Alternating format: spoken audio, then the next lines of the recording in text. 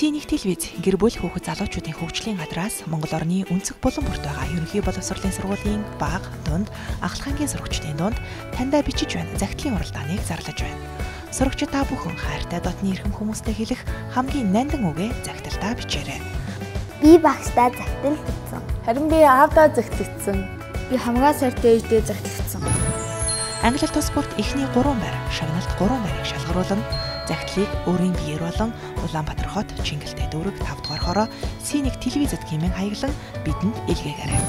Загтлыг 5 дугаар сарын 28-ыг хүртэл Синик телевизийн байранд хүлээн авч байна. Таньда бичиж байна. Загтлын уралдаа